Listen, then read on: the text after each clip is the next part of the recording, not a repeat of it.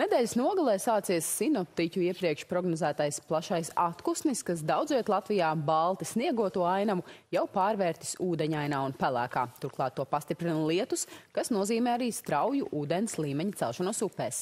Cik spēcīgs atkusnis turpināsies šonedēļ, un vai uz Ziemassvētkiem varam cerēt uz nedaudz ziemīgāku un baltāku laikapstākļu atgriešanos?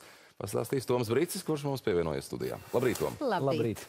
Un tad Cik ātri tas viss notiek? Kušanas ātrums, tu iepriekš sacīji, šķiet jau ceturtdienā vai piekdienā līdz otrdienai viss vienlaidus sniegs būs nokusis. Vai atbilst arī šī gaita tādam dinamikam? Jā, jā, jāsaka, šis atkusnis ļoti labi padevās prognozēšanai. Jau tiešām nedēļu iepriekš tas process bija tik eh, apjomīgs un vērienīgs, kas mums tuvojās, ka, ka to varēja prognozēt laicīgi.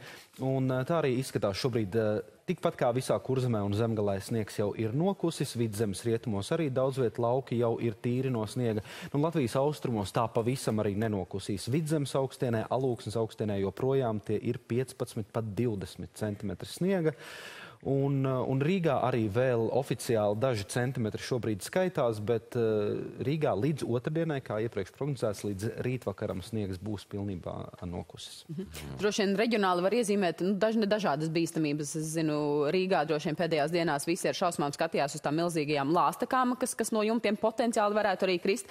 Uh, savukārt laukos droši vien jau par iespējamiem paliem un to līmeni varam runāt. Kāda ir situācija upēs? Um, jā, upēs kurzemē ūdens līmenis līmenis mazajās vidējās upēs ir strauji cēlies par metru līdz diviem metriem, durbē pat nu, jau vairāk nekā divi metri un ir sākuši saplūst palienes. Eh, pārējās eh, Latvijas upēs arī pilnīgi visās ir kāpis ūdens līmenis, izņemot atsevišķus Daugavas posmus. Eh, pie Jēkapils ūdens līmenis pēdējās divās dienās pat par pusmetru ir nokrities, jo tur bija ledus sastrēgums, kurš tagad ir izkustējies. Es tagad ceru, mēs varēsim grafiku apskatīt, kā tad šobrīd izskatās Jēkapils, jo par to nu, bažas daudziem ir pēc mm -hmm. pagājušā pagājušās ziemas. Šeit ir precīzi gads ar ūdens līmeņa gaitu. Kopš pagājušā gada 18. decembra līdz šim brīdim tie 8,91 metrs bija pagājušās ziemas lielie plūdi. Šobrīd 3,39 m. Tātad 5,5 metri ir līdz tam milzīgo plūdu līmenim.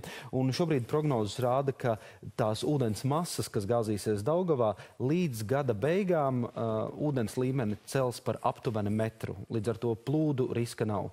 Kur var uh, izmaiņas rasties, ja nu pēkšņi ledus sastrēgumu veidojas. Šobrīd tomēr šķiet, ka tik lielu ledus apjomu Daugavā nav, lai gan Baltkrievijā daudzos posmos upe ir pilnībā aizsolus un ledus visticamāk uzlūzīs un nāks nāks lejā uz Latvijas pusi, bet diez vai tomēr tas risks pagaidām ir saucams par lielu. Līdz ko būs, protams, bažas, ka kaut kas tam līdzīgs var notikt, eh, par to noteikti ziņosim. Bet eh, kurzemē un zemgalē palienas eh, aplūdīs, lauki aplūdīs, noteikti lauku ceļi atsevišķos posmos Un eh, var būt kāda lauku sēta mājasaimniecība var ciest, bet, eh, bet blīvi apdzīvotām vietām plūdi nedraud. Tas, Protams, ka lietus, kā mēs zinām, arī papildina šo ūdens līmeni, ne tikai sniegs kūst, bet arī no gaisa vēl līst, un tas arī palīdz kausēt sniegu, kā tu pieminēji saistībā ar sniega nokrišanas prognozi. Kā izskatās ar nokrišanu daudzumu šajā nedēļā un vējiem, jo ciklons, protams, atnācis arī ar spēcīgākām brāzmām, kuras mēs kādu laiku jau bijām jau atradinājuši. Jā, šonedēļ vēl nedēļas sākumā tā tad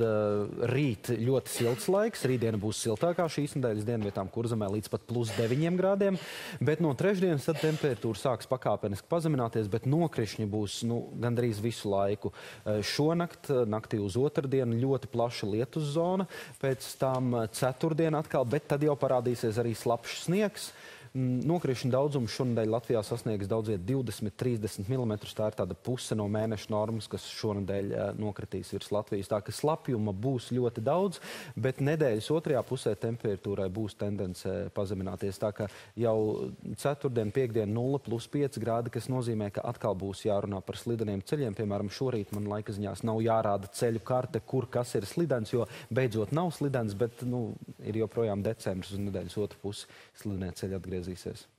Nu, izklausās tā diezgan maz ticams, un tomēr es domāju, ka daudz cilvēku tagad, es mēģinu lasīt viņu domas, un viņi droši vien saka, nu pajautā, nu vai ir cerība, ka tieši uz tiem Ziemassvētkiem tas baltums kaut mazliet atgriezīsies. Jā, nu mēģinājumi ienākt augstumam tieši uz Ziemassvētku brīvdienām būs. Šobrīd uh, vēl, diemžēl, nevar droši pateikt, vai, vai augstums būs pietiekams un noturīgs, lai visā Latvijā Ziemassvētkus varētu saukt par baltiem. Vidzemē, Latgalē diezgan droši, bet uh, pārējā Latvijā, es domāju, rīt vai parīt tā skaidrība ieviesīsies, jo atšķirībā no šī atkušņa, kurš tā tāds liels ceļa rullis nāca no Rietuma Eiropas pie mums, tas augstums, kas mēģinās ienākt pa Ziemassvētkiem, nu tāds salīdzinoši vārgs, tas nav kā mēs nodzīvojām mēnesi tādā stabilā ziemā, tas būs tāds īslaicīgs mēģinājums ienākt augstumam, ja arī tas ienāks pēc tam līdz jaunajam gadam atkal klusīs. Tā kā tā stabilā ziemas daļa vismaz pagaidām izskatās aiz muguras. Protams, janvārī, februārī vēl visādi var būt, bet, piemēram, pagājušajā